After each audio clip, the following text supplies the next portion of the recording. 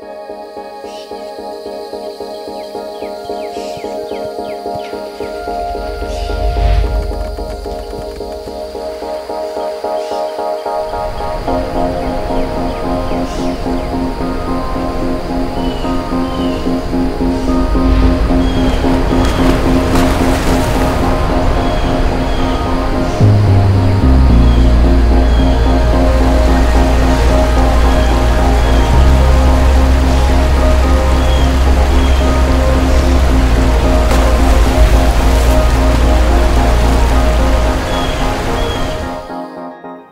What's good everyone, in this video I'll be sharing with you guys one of the more useful items in my bag of tricks and that is this diffused highlights effect. It's used more commonly in Hollywood usually to reduce sharpness, to make the highlights roll off a little bit better, and to smoothen out skin.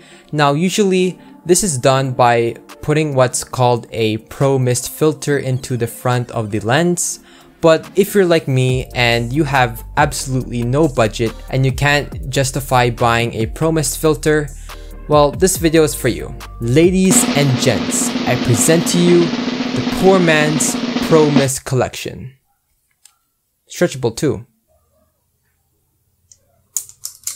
Does that look better? All jokes aside, I have created for you guys a Pro Mist filter effect that you can use to make your videos have that diffused highlights effect. All you have to do is to go down into the description of this video and there you'll find a download link to the effect. And I'm not showing you how to install the effect because there are like hundreds of tutorials out there on YouTube. So. After installing the filters, head over to your effects and scroll down until you see the Poor Man's Pro Mist collection and there you're gonna find three filters. Now, why three effects? Each of the effects does the same exact thing, the only difference is that the tolerance to which the effect is applied to. Say if you have a not so bright clip and the highlights are not that pronounced, what you can do is to choose the high or medium tolerance effects. Just play around and experiment which effect works best for you. Once you apply the effect, you can customize it further by playing with the amount and also the opacity of the effect if it's too harsh. After that, you're done. Told you these would work well. Now just before you click off this video, I'd like to add something and that is, you could also recreate this effect in other editing programs using a luminance key and also a Gaussian blur effect. All you have to do is to duplicate the clip that you want the effect to be applied to and to apply a luminance key and a Gaussian blur effect over that clip.